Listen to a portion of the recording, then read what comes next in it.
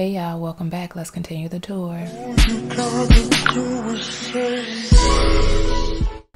So I'm still trying to decide how I'm going to maneuver through um oh this is nice so this is the name of the land um in carved pumpkins i'm still trying to figure out how i'm going to like maneuver um vlogtober i don't know if i want to kind of do some like half halloween half uh oh okay.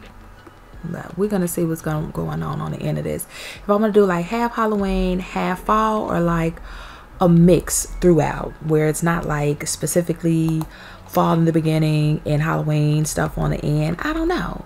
I don't know. We're definitely going to get both because both um is still going on um in second life. Look at those eyes i just i wanted to be I'm trying to make things be cohesive. And it's going to be both seasons, so it's going to be cohesive regardless, in my opinion. Oh, what is this? Oh, is he like, is he have wings? He has wings. Okay. He looks nice and spooky. This is where I would expect for somebody looking like him to be. Just right in the middle of this, looking spooky. This is cute. This is funny because this is supposed to have like a spooky aspect to it, but it's pretty with the neon. So it's not giving spooky for me at all. At all. What's over here? I love just kind of oh spiders. If anybody got issues with spiders, my bad.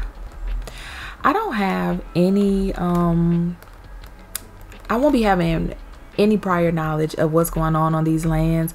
So I don't know if I should put like a disclaimer for some stuff. If the land gives a disclaimer, then I'll show the dis because that lady was not there a second ago. If um the land gives a disclaimer, then I'll add the land's disclaimer because I don't uh I don't know what's gonna be on these lands. I'm, I'm gonna give it a trillion. I don't know. And Second Life during Halloween time, they good for having stuff jump out on you and stuff like that. I wanted to dress up for Halloween and be like real spooky and stuff like that, but I don't want to get my video flagged um, because of the thumbnail. I went through quite a bit of that. Well, only like two times, but it should have been zero. I went through that when um, I was doing April Diamonds. They was flagging my video saying like oh you're dressed like too inappropriate on the thumbnail so we're gonna make this for 18 and older which was weird because i said all of my videos not made for adults. So i would think that since i already clicked that my videos are not made for adults that it will automatically be for 18 or older but apparently not for whatever reason. And so they flagged a couple of my videos. I i distinctly remember two but it could have been more than that but it was definitely two. And i don't want none of my stuff being flagged. I just don't. They have this little path over here. Okay so this is like another you know what? We did see a sitting area. It was like that little wheelbarrow thing. It kind of looked like this um, but not exactly like this. It was like a brownish color. So they do have little dipped off spaces where you can um, sit. What was that? You see what I mean?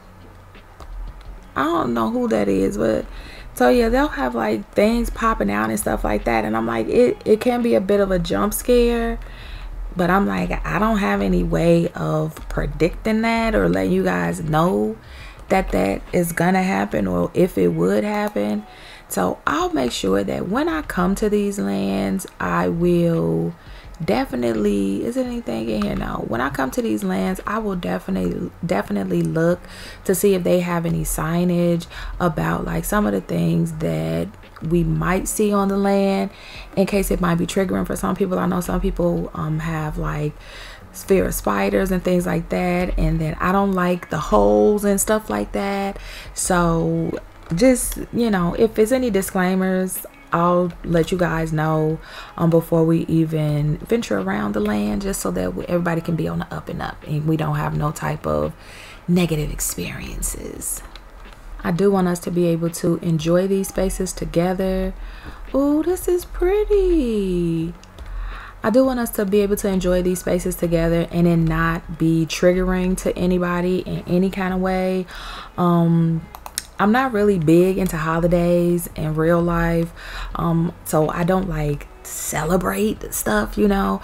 But I will say, because my son enjoys um, certain holidays and things like that, we will partake in them simply because I don't know, I feel like even though I have my own views on things, it's difficult for me. Oh, look at these sunflowers. It's difficult for me to kind of just like deprive my son of them because it's something that I have feelings about.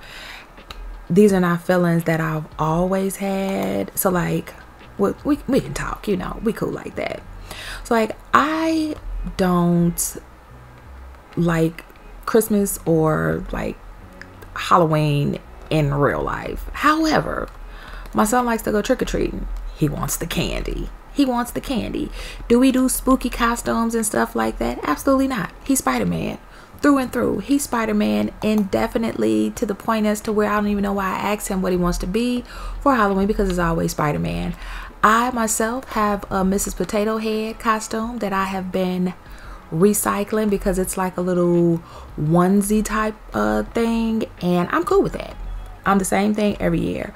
So I don't like to deprive him of things like that because it's like I do feel like it's okay for him to experience those things and he understands how I feel about them.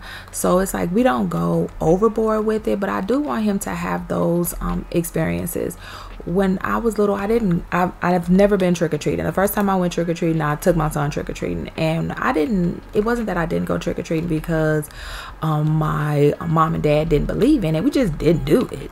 It was really just no other real reason other than that. Um, but when my son said that he wanted to experience that, I didn't want to deprive him of that simply because I had never experienced it or because of the way that I feel about um, the holidays. I don't really feel like it. I don't want to say like it's a like I don't. It's a belief thing because it's really not. For me, it's just like I don't I don't feed into the narrative of it. Like a lot of people say, you know, they feel like Halloween is like wicked and it's like the devil's uh, holiday. My grandmother used to say it's the devil's birthday and things like that. But I feel like you have to be in a space where you believe in things like that to actually um, allow it to um, affect the way you interact with it or if you interact with it at all. So for me, I don't look at it like that. I do feel like it's like a, a chill time for kids to kind of just like explore their creativity. They get to dress up and stuff like that. It's a lot of times kids are not scary things. The older kids will they like to put on the scary costumes and stuff like that. But for the most part, when I take them trick or treating, the kids are like superheroes, princesses, and things like that. So it's nothing like demonic. I don't see anybody dressed as like devils or anything that's kind of just like would make people feel some type of way. Everyone is just pretty much like it's like dress up time. They put on like their favorite caricature uh, caricatures and things like that, and they just be out there collecting candy. That's it. And so that's just how I look at it. And when it comes to um, Christmas, I, I feel like I just I feel like it's just it's a money grab. That's my that's my biggest thing with Christmas. That's my biggest thing with Christmas. I, I definitely feel like it is a money grab. And for that reason I don't like it. And my son he goes through a lot where he's actually like trying to find things to put on his list because it's one of those things where it's like what do you ask for when you have everything like everything that you would want and desire you already have it so what what what's it gonna be so because that's where we are now i'm like i want to take a trip I want to take a trip. You don't have a Christmas list because you don't have anything that you would want to put on your Christmas list because everything that you would have wanted, you already have already. And that's always been my whole thing. Ask for what you want during the year so for Christmas we can catch a flight because I'm in Chicago and one thing about the Chi, it's cold as hell in December. it's cold as hell in December. It's even colder in January. So I'm like, if, if we could be up out of here and in somebody else's street where it is hot all year round, I'd rather do that. I would much, much rather do that. When you add up all the money that um, a lot of people spend on Christmas and for Christmas, that's a flight with a in a really nice hotel with a couple of excursions. And that's what I would rather do with the money. That's what I would rather do with the money. He thoroughly enjoys um, vacationing and things like that.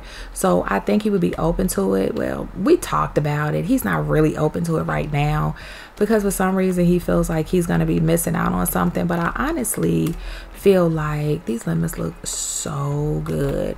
I love me a good lemon. I honestly feel like he thinks that he's going to be missing out on something. What? I, I don't know. I don't know what he thinks he's going to be missing out on, but uh, I can guarantee him it ain't to be much. So yeah, those are just my feelings on those um, quote unquote holidays. I just, you know, I'm gonna feel how I'm gonna feel, and that's just what it is. When he gets older, we'll revisit um, these things, but for now, I just, I don't know. I, I want to let him enjoy it and grow his own opinions on things. I don't want to put any ideals in his head. I want him to come up with how he feels about things on his own. And he's done a fantastic job thus far. So I already know that that's going to continue. So we're going to let him pace himself when it comes to that. So look how spooky all of this looks. I love this they did a really good job on this land. A really good job on this land.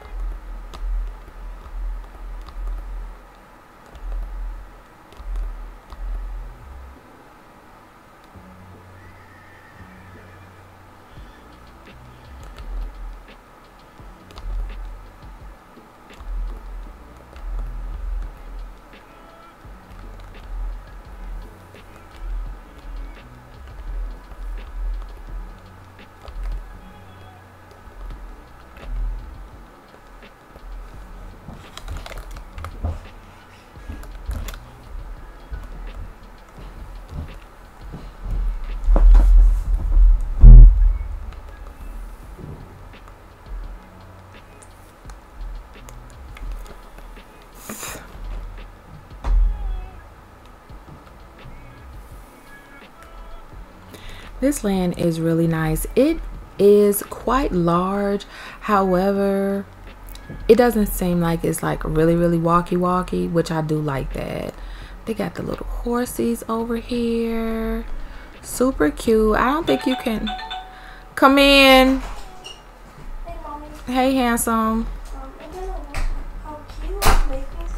Okay what would you like? It's, it's not food. It's a drink you want a frappe no, I want I want a sweet tea. You want a sweet tea? Yes. Okay, give me about ten minutes. I'm still recording. Okay, thank you, baby. No, Aiden, get your life together. So yeah, I'll make you some sweet tea. Just give me give me about yeah, give me about ten minutes. I'm almost done with this video. Okay, thank you, baby. You you welcome, Aiden.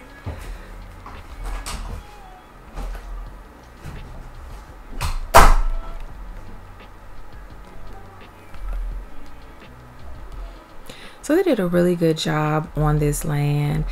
It is, when I panned out, it is a large land. However, they have things very nicely spaced out. It is quite walky, but it's meant to be.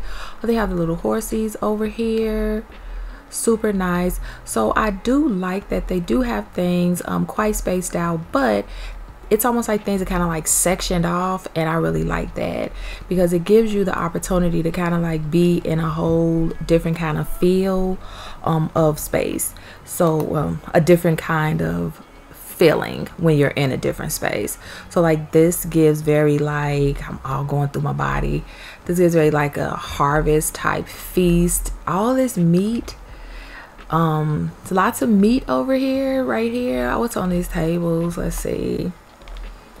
So this does seem like a, a feast area. It's like a little with picnic tables. Is this like all meat? This reminds me of that, what do they call it? That Belkin or whatever. Belkin meal when they just kind of like eating the meat with the uh, peppers and things like that all together very rustic like so yeah so it's like lots of food over here and things like that.